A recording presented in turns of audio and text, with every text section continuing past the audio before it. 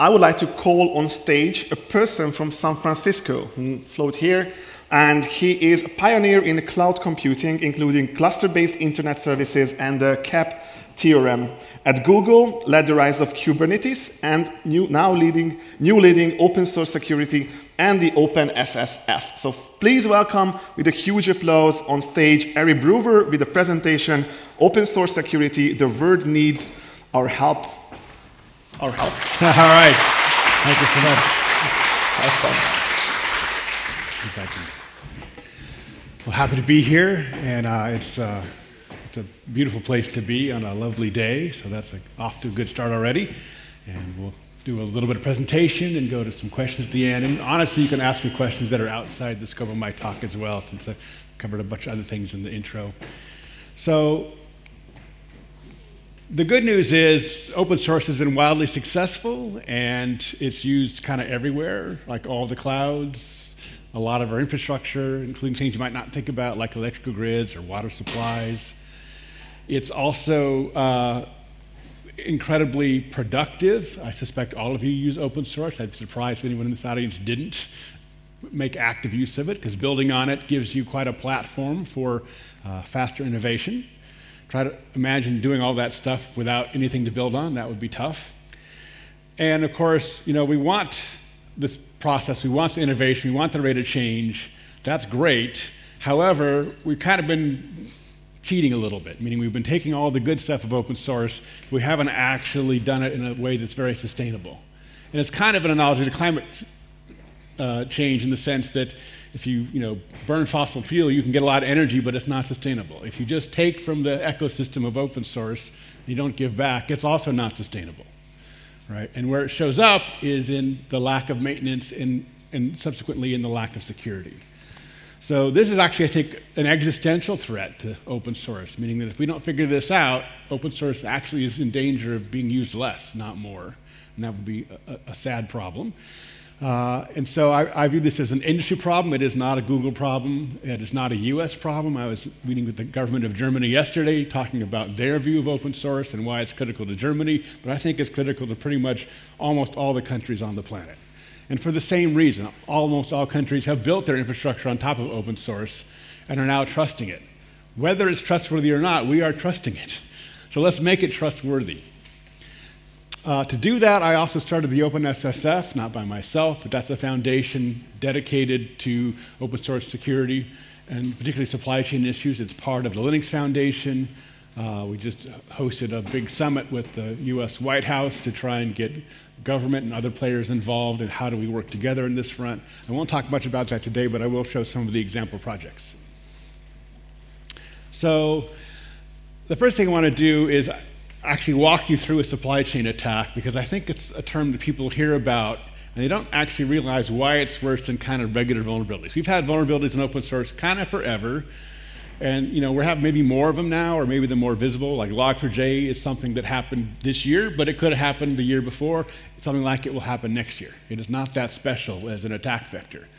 Supply chain attacks, I think, are more special in the sense of they're not an attack, they're a sequence of attacks, or arguably even an attack factory, by which I mean when you make one attack on the supply chain, that in turn gives you many attacks in parallel on the users of that system. Right? So you get an explosive effect on the, what you're able to do with these attacks. SolarWinds is the famous one in this space that got all the attention. Uh, it's actually a mix of proprietary software and open software. CodeCov, which some of you may use, is the purely open source example, so I'm going to walk through that one today because it's easy to talk about and we have lots of good data on it. But they're basically very similar. You create an attack on the supplier, then everybody that uses that supplier is subject to new attacks, and that's where you get the escalation. So this example I'm walking through comes from Mercari. It's a Japanese retailer. Uh, they basically have a uh, merchant site where they have lots of merchants selling stuff to lots of customers. Uh, they order $100 million a quarter kind of uh, business, pretty good retailer.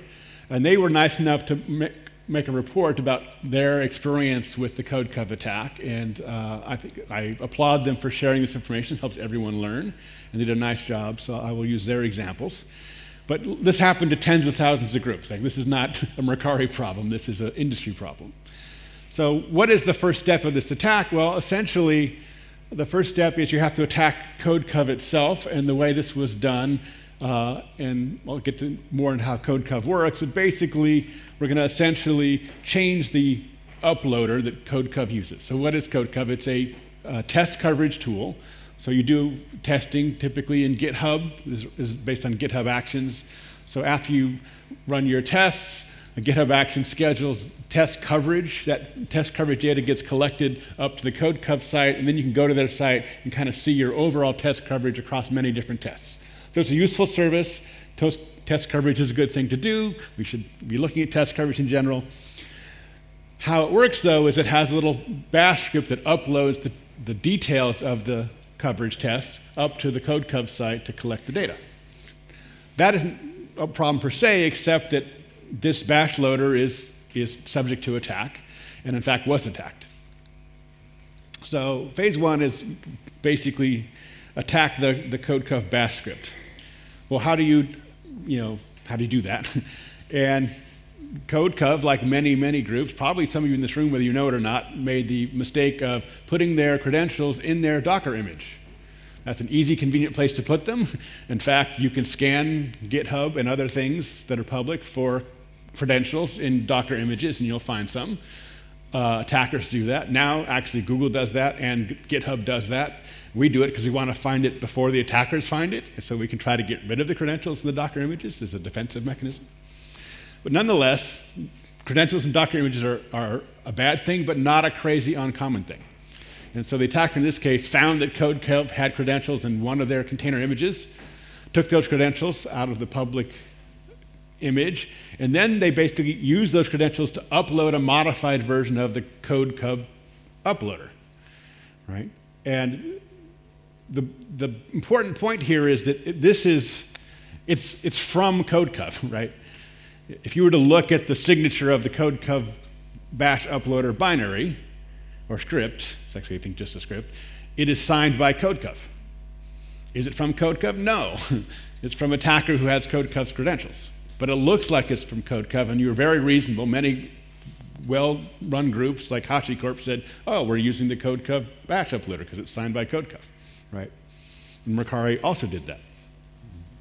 As a side note, it's worth pointing out that just because the binary matches the signature, it's signed by CodeCov, doesn't, there's other ways to tell it's actually not the right one. There's two long-term ways. Uh, one way, the easiest is the second one, is that CodeCov could actually look at it and see is this actually what we posted or not? Because they know what it's supposed to be. So they could actually go look at it and say, is it still what it's supposed to be? That, that's one check. The other check that models what we do for SSL certificates is you can have a, a public log that's immutable. Uh, this is kind of like a blockchain. We don't use blockchains for this. We use an older technology called a transparency log, but it's basically a blockchain for this you can put things this way, you, you actually put the hash on the blockchain. Now you have a third party place to look and say, what is the code CodeCov signature supposed to be? What is its secure hash supposed to be? Then you look at the one that you're actually using, does it match? It wouldn't match, right? So there's, there's some, I'm not going to go into those other than say that there are things like this. This is kind of what SigStore, if you've heard of SigStore, is kind of hoping to do basically do a transparency log of hashes so that there's a, a, another place to look for the hash besides the object itself. But all that to say that attacker changed the bash upload script and uploaded it. So that's the first attack.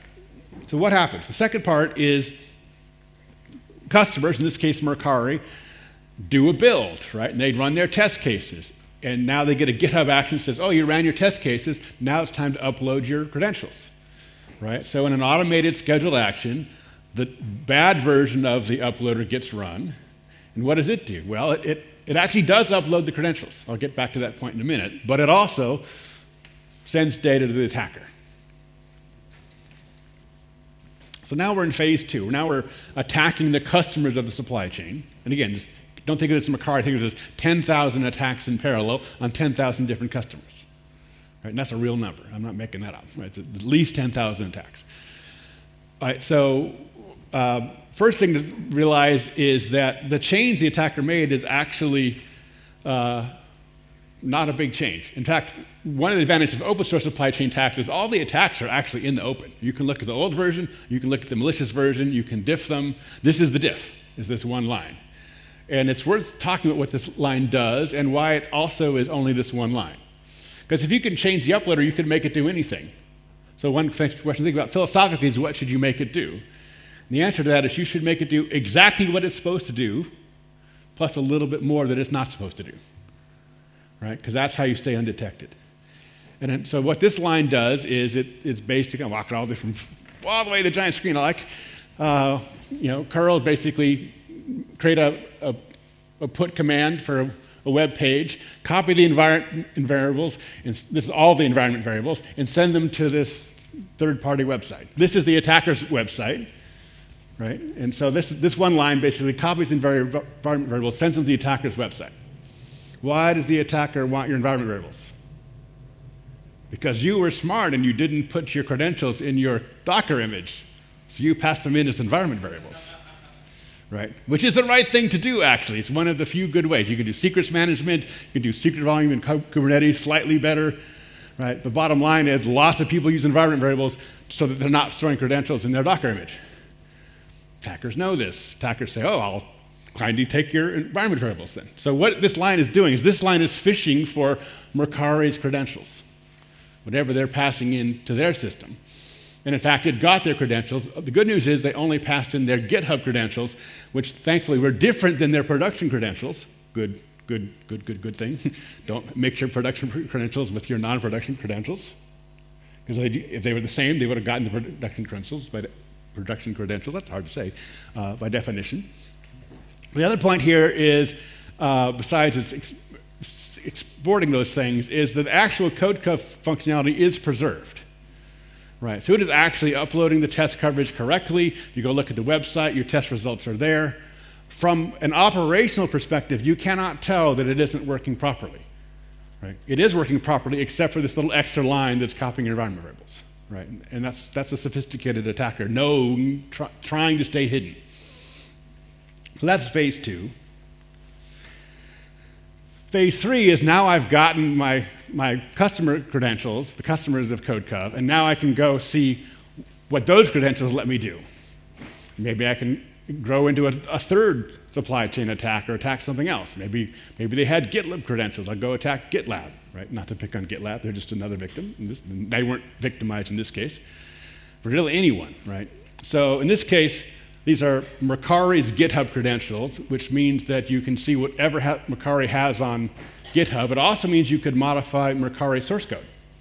You could delete Mercari source code. Now, hopefully there's a backup and all that, but there are subtle attacks you could do by attacking Mercari source code. They didn't do that. What they're really doing were, again, looking for more credentials, looking for other valuable data. Um, what they actually got was um, use, some useful logs. So it turns out in the GitHub repo were a whole bunch of logs. So all of the merchant PII, things like what is the address and banking information of our merchants, that was in the GitHub repository, not so much intentionally, but as a side effect of being locked. Right? So that's, that's a bad thing to have lost. But they didn't lose their end user credentials, they didn't lose their production credentials. It could have been much worse. So that's, that's a supply chain attack. Uh, and that's a real one, and that's actually what happened. It, again, happened to many different groups. There's kind of the whole picture. But again, the good news is, is even though they lost control of their build environment and this GitHub stuff, all the production stuff, good time to be a soccer player. no, uh, no production credentials were lost. I'll take a breath. The, uh, I guess the long screen is not always helpful. it's a little too long. Another thing that's interesting about this uh, attack that I want to walk through is the timeline. I'm not going to go through the whole timeline. I just want to point out that yellow circle on the far end. I'll just use the laser pointer to point to it. Oh, no, I can't see the laser pointer. Right, it's on a lit screen. Old school. Uh, because it was a hidden relatively well hidden attack, it was two months before anybody noticed that anything was going on. That's a relatively long time. For, for two months, credentials were being harvested with no one knowing. After that two months, there's another period where people know something's going on, and CodeCov knows what's going on, but they maybe haven't quite figured it out yet, and they haven't told anybody yet. Right? So if you're a customer, you have the two months till they figure it out, plus another week and a half or something while they figure it out and then tell you. Right? And then there's a whole other period which we don't know much about where least the US government realized this is a lot of different customers, and that's kind of where it got escalated into a bigger thing, and there started being you know, rumors going around there's some big attack going on. Right? But that's a long time. Uh, and it's very hard to know for attack that long what did you actually lose like what are all the things you built in that two month period and what credentials did they have you probably don't have logs that tell you that right google does some things on github we have some logs but we're not 100% sure all the things we built on github in that two month window because we weren't expecting now the good news is we don't do any of our major builds. Like nothing that runs Google Productions is built off of GitHub. We have our own source code repos and all that. But we have lots of experimental projects. We have employee projects. Some of those are on GitHub. Maybe they had credentials stolen. We don't really know 100% for sure. And I would think that's pretty typical for most groups, especially if it's not your primary focus. Right? But your non primary focus still can have credentials that you care about. So stepping back, if you want to think about supply chain attacks a bit more broadly, this is kind of my generic picture of a supply chain from developer and source to building and deploying and, and having a place to store things like Docker images or packages, like a, like a Maven package, before you finally deploy them. And when I talk about a supply chain attack, what I really mean is all of these arrows are places of attack. Right? And that's kind of the make, things that makes this a bit of a scary problem right? Anyone that tells you they have a fix for the supply chain problem is kind of, by definition, lying. You need eight fixes at least. So if they're not bringing you eight fixes, they're not even playing the right game, right? Because if you don't fix all eight things, your whatever your least, your weakest attack point is, that's the one the attackers will use by definition. So I won't walk through these, but the ones that are circled are actually attack vectors that were used in the CodeCov attack. So this is a nation state attacker. They're pretty sophisticated. Right? They're using multiple of these attack vectors simultaneously in the same, same attack. And you'll see more of that, at least if it's a nation state kind of thing. Uh, so this is going to be a hard thing to fix. Google got attacked by nation states. Not, I've been there 11 years, and sometime early, around 2010, uh, a well-known large Asian country attacked Google uh, using sophisticated attacks and was successful. And since then, we actually had to rebuild all the ways we actually manage source code and do build systems. And so I think now we're in pretty good shape. In fact, our biggest risk part internally is our, is our use of imported open source. Anything that we build ourselves, I think we have really good control over. Stuff we import, we have less control over, although we're working on it. Uh, but the problem is, even though I think Google has solved this system, we can't just give you that solution because it's so Google specific using a bunch of Google internal APIs that it doesn't actually solve the problem you have, right? And the tools wouldn't be useful directly. So we're going to basically have to collectively rebuild the things we've learned from this system externally, and that's kind of what the rest of this talk is about. But just as an understanding, why is it a little bit Google specific? Well, we assume a giant monorepo, which would say all of the code is in one repo. That's pretty unrealistic for most groups. It has advantages, but it has disadvantages too. We force all of our users to use the same versions of any given library. Most companies can't set that expectation. You said you can only use this version of log4j and no other, and you could enforce that. That actually has some value as a kind of a top-down mandate because it means you only have one version to secure. But in practice, most teams have autonomy. They can use whatever version of whatever language they want right? So most time you can't do that. We also have a single trusted build system. Like everything that goes to production is built by the same build system, essentially in the same way with the same signatures, right? If you're building stuff on your laptop or the desktop or the workstation under your desk, more likely, and it's got whatever random software on it, you really can't trust it as a build system for production, right? And so you can do that for stuff that's not going to production, like your normal copy, edit, debug loop. But if you're going to be serious about these attacks because so many of the attacks are around the build system and the provenance, you really make, have to have an audited build system doing the actual builds that matter. So that one is one that's worth copying. Same with, uh, it's not on here, I don't think it's on here, no. But basically, we also have private copies of all the open source we use. So it's not like we ever pull a, package off the Maven and Maven Central and like stick it in production. All right, there's two reasons that's a bad, reason, bad idea. One is we want to know exactly what software was used when we built something, because later you might need to do look at it if you discover there's a vulnerability in it. So you need at least a copy for archiving of what you actually built. so you're going to have to have a copy no matter what, because again, the upstream copy will change, right? It may change after you've taken a, a, snapshot of it. So we have a private copy for that reason. The second reason of a private copy is we often wa want to make security patches, right? And we can't patch the upstream version in general, right? So we patch the local version. We try to get the patches upstreamed, but that'll take could take 30 days, could take two days, could take three months, could be never. We have some patches that have never been taken upstream, right? Because the maintainers don't agree with the patch. Right, so another reason we have a private copy is so that we can have private patches.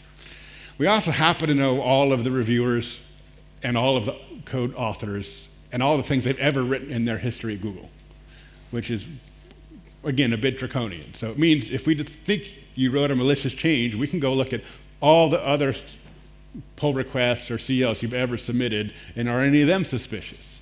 Right? Is there a pattern there? Like, are you suddenly submitting stuff for a Java, but your whole time at Google you've been a Go programmer? Right? Those are things that are suspicious. That doesn't mean it's bad, but it means it's worth a second look. Right? That some companies can copy that, but my main point is there's this is whatever we built, even though I think it works, it's very googly, and I don't mean that in a good way. It's very googly and, it fits our little island of how technology works, which is not the same as the rest of the world. But the principles are right. Like the idea of a trusted build system is the right principle. Uh, trying to understand, at least, if not enforce, what libraries are in use is a good principle. A private repo, good principle. So out of this came something called SLSA, which hopefully you've heard of, but you probably haven't if you're not at least thinking about this space which is a, it's not code, unfortunately, it's just a framework. So here's a framework that says what are the properties you want in your supply chain such that you can prove to yourself that it's trustworthy. So you can think of these as, the, these things on the right here are essentially invariants. Like um, source integrity is do you know exactly what source code was used in your build? Meaning it, no, it was not tampered. You have a copy of it. The copy matches the secure hash of the version that was used. It could be a git hash typically. Right? That's a useful property. Do you know exactly what source code was used? Uh, hermeticity is another one. That's the property that when you were doing the build, it was from immutable inputs. right? They weren't allowed to change. Like you, you know, if you have some packages have a pre or post install script, which means they go to the internet or can to do some calculation to figure out what to install. Right? It, that's not good, right? We don't want that. In fact, in general, we should remove all pre and post install scripts if we can, because it means you don't know what you're installing until after you've installed it, which is too late. Right? We actually need to separate what's going to be installed from what when you install it. That's a, that's a separate talk. Anyway, these are all uh, useful invariants. And I think so. The way to think of this as a table is basically there's invariants we'd like to have. They're not all easy to get. So the columns are the easier ones on the left. So SLSA level one is really basic stuff like do you know your source code? SLSA level two, you can kind of think of it as do you have a trusted build system? Like, is it do you know what binaries are using your build and what scripts? And are they checked in? Is there an audit log? Can they only be run by service accounts versus by users on their laptop? Right? That's what I mean by a trusted build system. That's pretty achievable, and it's, it's, I think most groups that are serious should get to a trusted build system that produces audit records of what was built. Right, and then you can get farther and farther out, and, and you know, at, at, the end here, you're doing kind of all the things that Google does, well, not in the way that Google does them. At least you're meeting the same properties. And I'm not saying that's easy, but it's a framework you can talk about are these the properties you want? And by the way, you can have your own opinion if you think these are more or less important, but I think these are the properties in general we know that you need to actually have a secure supply chain. And we're, by the way, building all, all these things in public forums in various ways. So I'll just cover a few other things and then we'll, we'll wrap up and move to questions. Um, this is an OpenSSF project that's worth knowing about. it's trying to tackle the problem. That it really has two goals. So, what it is is it's kind of a scorecard for a open source project, and it's scoring it basically on relatively actionable, simple security metrics. So, a security metric would be something like, do you use two-factor authentication? Because if you don't, then your credentials might get stolen, and someone else might be making updates on your behalf that you wouldn't make yourself. Right? That's risky. Another one is, for example, do you have more than one maintainer? Turns out about 30% of open source projects have one maintainer. And you know, think about the, the colors library or something where that maintainer can kind of go off the rails, so to speak, and make whatever change they want, and there's no check and balance by any other maintainers to say that's a bad idea. Right? You put a lot of trust in one maintainer in that case. Um, so there's a whole bunch of these, but the, the, there's really two ways to use it. It's kind of like a little bit of peer pressure to maintainers. So here's some properties that you could achieve that are easy and actionable. You can tell when you're doing better. It, it improves the kind of the hygiene for all the projects, right? It makes them less risky. From the consumer side, which I hope it will get used as well, you can say, I only want to use projects that have a reasonable scorecard score because that means they care about security, right? And try to get some back pressure to improve security from the consumer end. Right now, people don't really look at the security of what they consume. Even big companies, even big governments don't look at the security of the code they consume. And they it's not easy to do, right? They're not going to do a, you can do an audit, right? For 30K, you can do an audit and get a very good report on security of an open source module. But that's, that's not scalable, right? Scorecards is not as good as that, but at least it's scalable and it pushes us in the right direction. So that's one little project. Another one that's worth knowing about is uh. This is a free uh, website that Google is providing.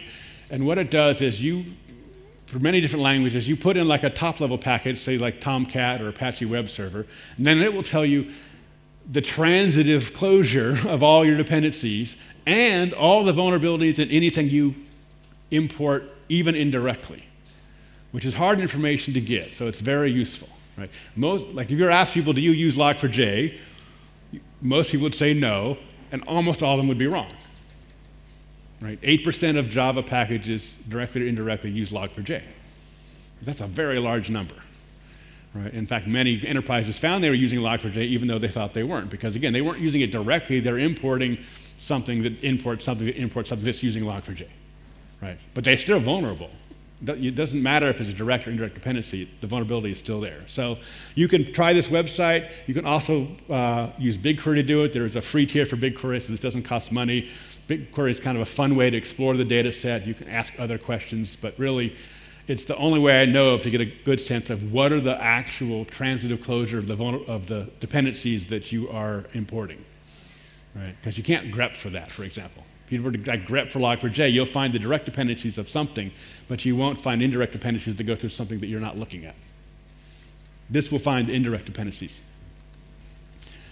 And finally, a third kind of baby step project is trying to fix vulnerabilities. And what I mean by that is the CVE mechanism.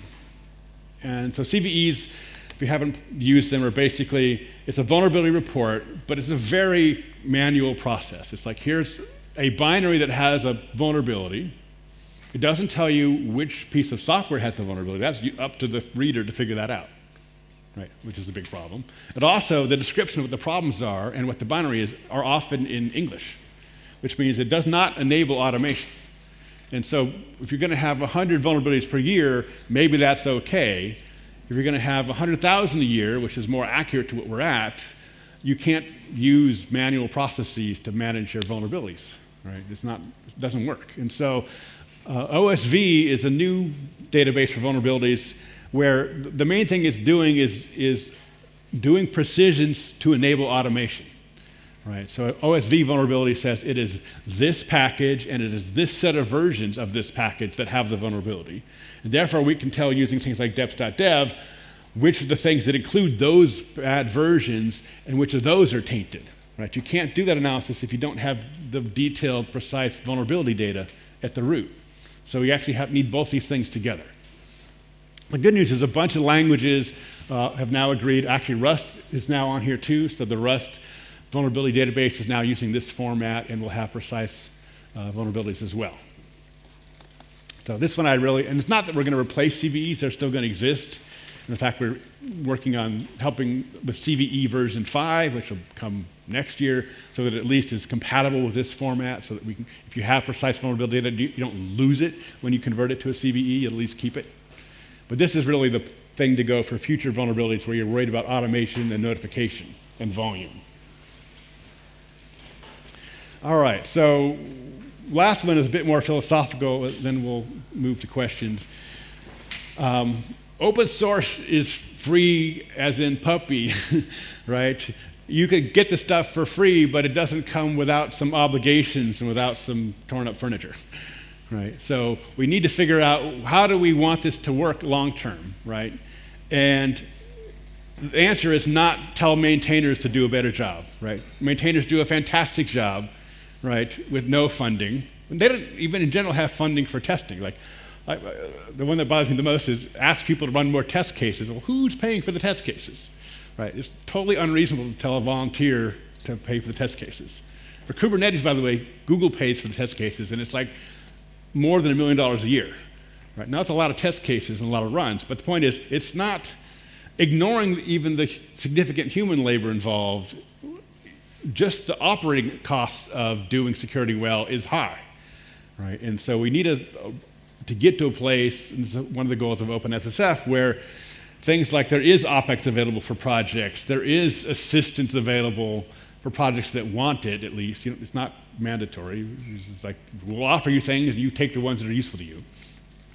Um, but bigger picture, you know, it's this is a now a public infrastructure. I just told you all nations are dependent on open source. The first order, none of them help with the maintenance or security burden, U.S. included, right? And that's mostly out of habit, right? But conversely, you would say, is it okay to build a road and expect the users of the road to fix it? You could do that. You could say, okay, you, you, you use the road, please fix the potholes as you get to them. That would be a best effort pothole system. It would be a terrible system. That's where we're at with open source, right? Everybody fix your own potholes. And by the way, you only fix them for yourself typically because you're not good at put the, putting the changes back upstream. So that doesn't help either. So we kind of need to figure out something a bit more sustainable, figure out a culture, not so much for the maintainers, but for the government and corporate users about wh- what is the right way to give back. If you're not willing to give upstream patches back, which is, I think, fundamentally wrong, is there some other way you can contribute financially or through other expertise or for cloud credits that says you have a role to play in keeping secure the things you're using, right? They're definitely using these things, right? But it's a asymmetrical consumption with not enough giving back. All right, so let's stop there, and I think we're at our zero, and we can move to Q&A. And I think that's something that you guys have to put up on the screen. Or maybe not.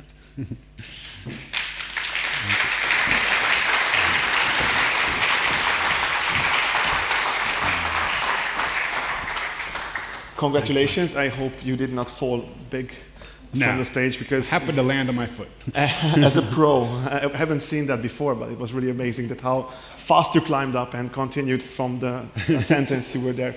So uh, I have something for you. Ooh. This is a really great Hungarian wine, and it's dedicated for you from Craft Hub because of the great presentation. Uh, thanks a lot. Well, thank you so much. I appreciate it. Welcome. And now, as you see on the on Slido, we have few questions. So I would like to ask all of you guys to try to upvote and downvote the questions, because maybe we won't have time for all of those. So we will just go uh, with the most votes towards the uh, least votes to try to upvote and downvote. I give you a few seconds uh, to do so. And I will shoot some questions to you, Eric. So first of all, it's here too. So, okay, the first question. How is bad code introduced in open source projects? Approved in a PR. Does improper review process for OSS plays a role? So this is the first question for you. I think the, there's two basic answers to that question. First of all, the vast majority of vulnerabilities in your package are not in the code in your package. They're in the dependencies of your package. Right? So then sometimes they're not even your fault other than because you're using those dependencies, you've taken on essentially the obligation to understand what they're doing. And again, you probably don't know what your nested dependencies are, But you're kind of, again, you, if you're indirectly using Log4j, you, you probably learned that this year, and it probably cost you some time to, to deal with that. Or maybe you didn't learn it and you still don't know that you're using Log4j, but hopefully you know, and customers will certainly start knowing. So that's the first thing. You, the, the vulnerabilities are not in the code we're writing every day, typically. Most of them are indirect. But assuming it's directly in the code, the next point to, is to realize that there's no requirement that there's code reviews at all. Lots of projects don't do code reviews. Uh, and if you're a single maintainer project, who's doing the review? you can do your own review and okay. submit it and then like it. Uh, but I don't think that's the process. I would be surprised, right? For Kubernetes, we're trying, of course, to do something with the higher standard. We have lots of people involved. Right? Popular projects should be doing code review. There's no excuse for that. But there are lots of dependencies that are somebody's project five years ago that they don't even care about anymore. Right, because in fact they would tell you don't use this thing. I don't work. In fact, earlier talk today, someone said don't use that. I wrote it a long time ago. All the maintainers left. Use it at your own risk, right? But that's not what the web, you know, little README says. Sometimes it says don't use it, but usually it just says untouched since 2018, right? Which should tell you don't use it, right? Should, we should auto translate that message to don't use it, but uh, we don't do that yet. That's a, that's a good idea. Write that one down. uh, but I don't think most, to answer the question, most errors are not in the direct code, and if they are, they're not necessarily reviewed at all. So getting those two things would be a great start. Okay, so the audience would be interested in what is your favorite open source project, and have you ever contributed to any of these? I used to write code quite a bit. So things that I contributed to in the long ago past, things like nesC, which was the TinyOS thing that was uh, for the beginning of Motes, what you now call an Arduino. Uh, I wrote code for Inktomi, but then the problem with having me write code, I, I, I wrote like 60,000 lines for my dissertations. I, I, was a good coder at a time, but when I got into Inktomi stuff, I realized that I was writing code, but then I wasn't there to maintain it. So being a part-time coder or a coder that's like there, but then like off to do business meetings or something, it's not it's not the right ethic, right? So I, then I realized I just, I switched to doing code reviews. So I do lots of code reviews, mostly internally, and I, I still write code privately at home, like writing stuff like home automation and, and Go mostly at the moment. Go is my kind of language of choice at the moment. Um, so I write enough code to feel like I know what, what's going on, but you know, there's no Eric Brewer production code at Google. There was Eric Brewer production code at Inktomi, but that was like in the 90s and 2000s, right? So that kind of dates me pretty well. Um, favorite project has to be Kubernetes, but I'm super biased on that. yeah, it's a no-brainer answer. Um, which CI system would you recommend to lock down the build process? For instance, AveHawk provides provenance data yet. So actually, which CI system yes. would you recommend? Um, the, the official answer, of course, is Google Cloud Build, which is starting to build all the provenance end to end. In fact, the way to think about Google's view of this space is not to have like necessarily the best tool for all the different parts of the supply chain, but to make sure that we connect all the metadata through all the parts of the supply chain. So for example, you can have your code in GitHub, you can build it in, in Google Cloud, you can store it in Artifact Registry, which is our version, or you can store it in JFrog. Right? It's a very fragmented space, so I actually think it's more important that we try to agree on what is the metadata we want and what is this, like what does a good signed package look like? Right? That is actually not agreed upon. In fact, we don't even agree on what the hash is. In fact, there was a, a test people were trying to do uh, SBOMs, you can think of as ingredients lists for packages, and a whole bunch of teams produced them for the same package, but none of the output actually matched, which means there's no way to tell if it was, it's not reproducible, there's no way to tell from a third party is it correct or not. So that's not a Google problem either, but I do think a consequence of us being so fragmented is that it's going to be hard to get any combination you want. So I do think because of the nature of this thing, people will get more serious about their build systems and have even Google's doing this internally. Like we, we can't have 30 ways to build something. There has to be very few ways to build that everybody uses because maintaining a proper build system that's actually secure is a lot of work. And most companies, I think, in a few years will realize they don't actually want to use their random collection of Jenkins, not to pick on Jenkins, but any random collection of stuff because it's too hard to maintain it yourself. So I think you'll be running CI pipelines in the cloud, not necessarily Google's pipelines, not necessarily Google's cloud, but something where someone's giving you some leverage on having a trusted build system. It's kind of the most reasonable way to go in the long term for that. Okay, next question. Uh, who should provide the funding for OSS? The main beneficiaries are largely private companies, but they often do not contribute at all. It's a great question. The main beneficiaries in terms of actual usage are probably governments. And you know, lots of governments in Europe and the US are big consumers of open source but again, no direct payback.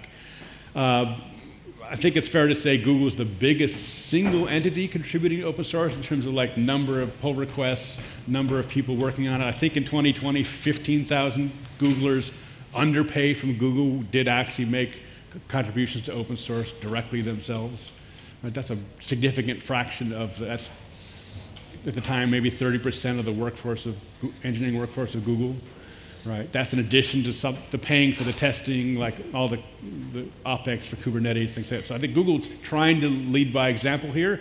OpenSSF, all of its members just committed $30 million to basically put towards funding the basics of open source things like hygiene and tracking vulnerabilities and helping get the worst ones fixed. But I don't think we actually have a great answer yet of even if you were, you know, like I talked to financial services companies, a lot of them would actually like to give money back in a better way. They often don't want to give their upstream changes back because they don't want to tell the attackers what they're using or what they're working on. But maybe they can give those changes back indirectly. I think we're helping facilitate that a little bit. Um, so the, the changes do get upstream is a bit more anonymized where they came from. We'll see. That's got its own problems. But I think the bigger issue is, you know, it's, it's not going to be a tax. It's also hard to pay open source maintainers, frankly. We tried this a couple years ago. It's like some maintainers don't want to be paid, believe it or not. They're like not interested, right? So that's the first problem. Uh, it's easier to pay OPEX, like, you know, testing for credits than actually paying cash. We've done both. We're still doing both as experiments. Uh, so I think OpenSSF or Linux Foundation has another role to play, and so does other foundations, PyPI and others, where they can be the middleman where uh, you know, a bigger company can give them money as kind of one transaction that's kind of legally binding and easy for lawyers to understand.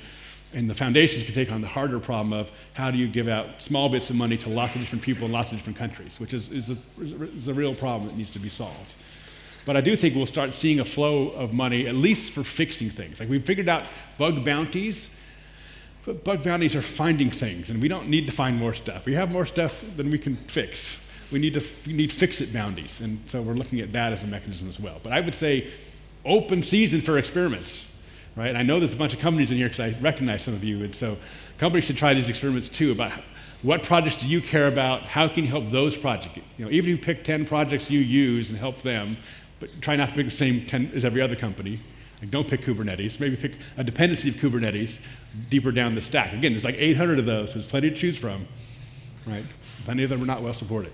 So I guess that's my answer. Okay, maybe one last question. Um, what would you recommend the JFrog X-Ray? I can't say I've used it, so I, I, know people are generally happy with JFrog, but I don't. I've not tried X-Ray, and I can't say much about it. Sorry.